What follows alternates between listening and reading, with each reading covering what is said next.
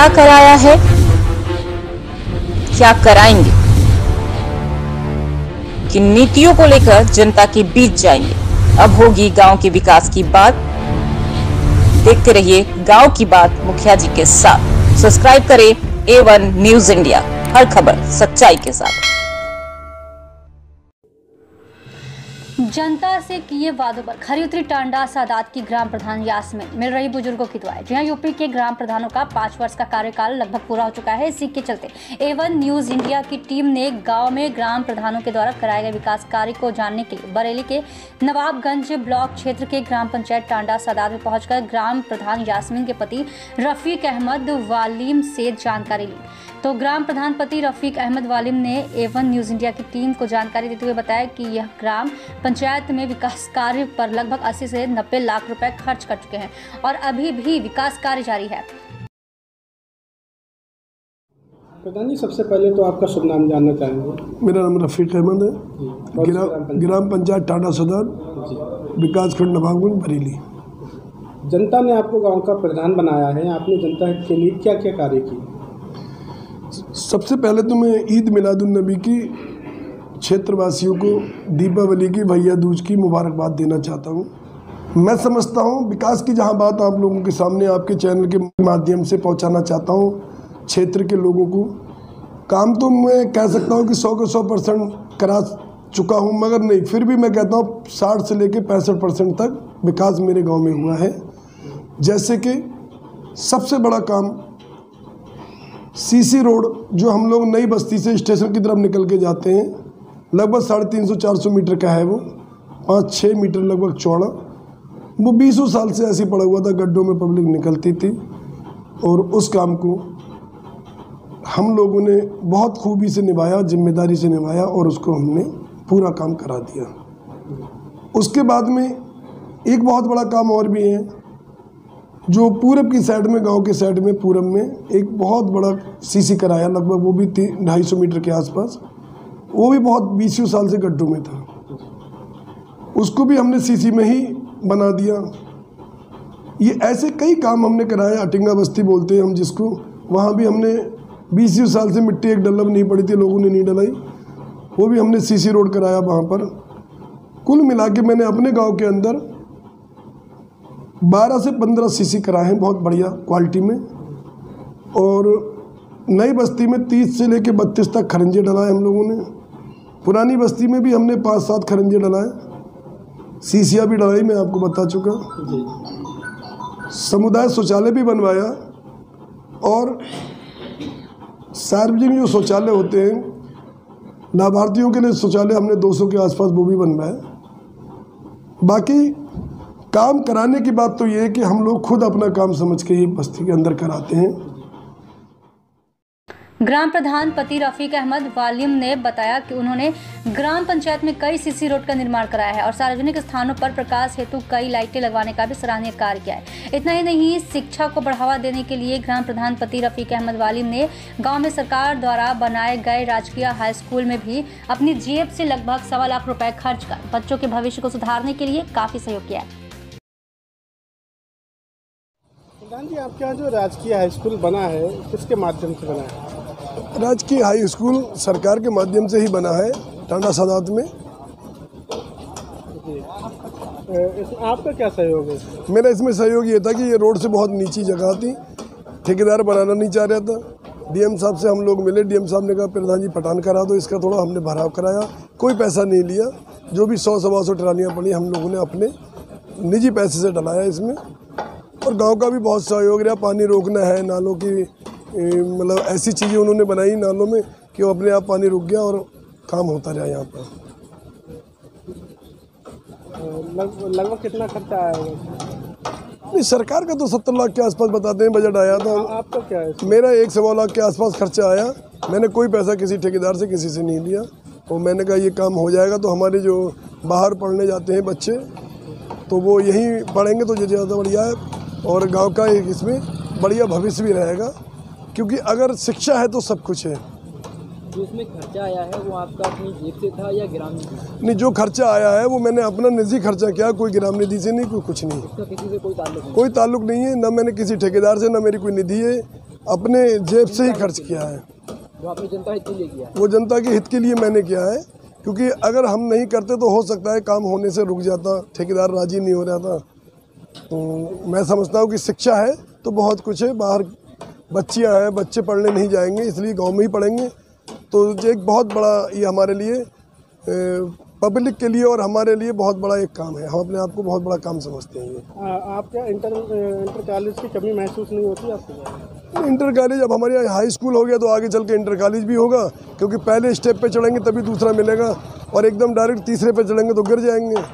तो उम्मीद है कि आगे चल के सरकार हमारा इस बात पे भी ध्यान देगी कि इंटर कॉलेज भी बनवाए यहाँ पर। और अब वह गाँव से होकर निकले पीडब्ल्यूडी के खस्ता हाल रास्ते को सही करवाने की लगातार शासन से मांग कर रहे हैं। उन्होंने बताया कि रास्ता सही कराने का आश्वासन भी मिल चुका है। आपके क्षेत्र में सबसे ज़्यादा किस चीज़ की आवश्यकता है? हमारे क्षेत्र में सबसे बड़ी समस्या तो एक हमारा मेन रोड है पीडब्ल्यूडी में जो आता है वो हमने लोक निर्माण मंत्री जी को भी लेटर लिख के दिया है विधायक जी को माननीय विधायक केसर सिंह जी को भी लिख के दिया है। उन्होंने भी आश्वासन दिया कि हम कराएँगे। लाइट की बहुत बड़ी समस्या थी हमारे गाँव में।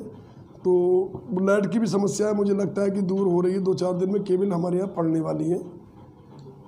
सरकार द्वारा चलाई जा रही विभिन्न योजनाओं में आपको सबसे ज़्यादा योजना कौन सी पसंद है? देखिए सरकार द्वारा चलाई जा रही है जो योजना है, जैसे कि पीएम किसान वाली जो योजना थी, जो छः हज़ार रुपये साल मिल रहा है लोगों को, किसानों को, वो भी बहुत बढ़िया योजना है।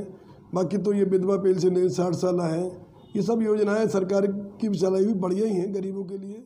ग्राम प्रधान ने महिलाओं व बुज़ुर्गों का ध्यान रखते हुए ग्राम पंचायत के विभिन्न प्रकार की पेंशनों का लाभ दिलवाने का काम किया है।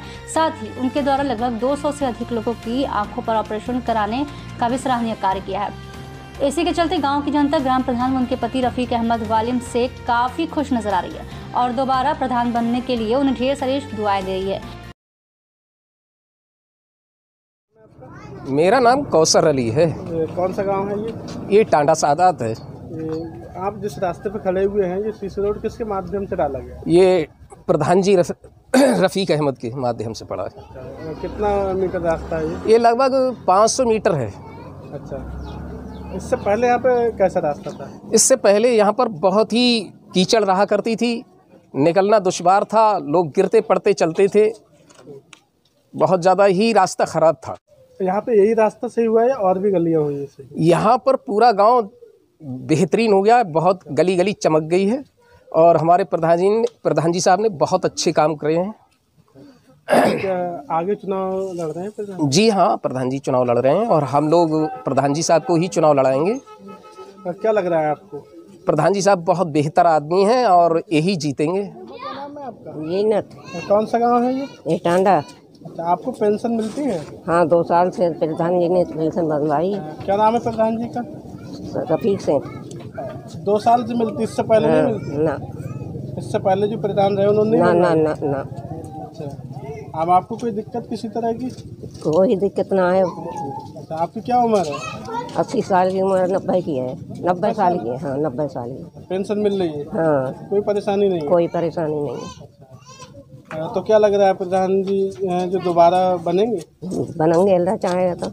दुआएँ हैं आपकी? हाँ दुआएँ हैं अनवरी। अच्छा आपको पेंशन मिल रही है? हाँ दो साल से मिल रही पेंशन। ही नहीं रफीक प्रधान ने बनवाई है। क्या नाम प्रधान जी का? रफीक प्रधान। अच्छा इससे पहले किसी ने बनवाई थी? ना दो दो साल तीन तीन साल रखी रही किताबें। अच्छा तो क्या लग रहा है आपके जो प्रधान है दोबारा बनेंगे? और अल्लाह चाहेगा बनेंगे ना। दुआएँ हैं और दुआ क्या नाम है जी मेरा नाम मोहम्मद यूसुफ है। कौन सा है? मैं यहीं टांडा सादात में रहता हूँ। जो नवाब तहसील नवाबगंज में पड़ता है ब्लॉक सेंटर पड़ता है। हैं। जी जी। आपके गाँव में कैसे विकास कार्य हुआ? जी यहाँ तो विकास बहुत बढ़िया हुआ है। पिछले तीस सालों के मुकाबले इस बार जो प्रधानी विकास हुआ है निन्यानवे परसेंट बढ़िया हुआ है यहाँ पे। अच्छा कौन ग्राम प्रधान है यहाँ के? रफ़ीक साहब हैं प्रधान और उनकी पत्नी लगभग क्या नाम है यास्मीन।